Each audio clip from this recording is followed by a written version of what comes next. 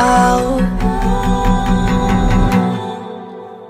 All I ever wanted was for you tonight.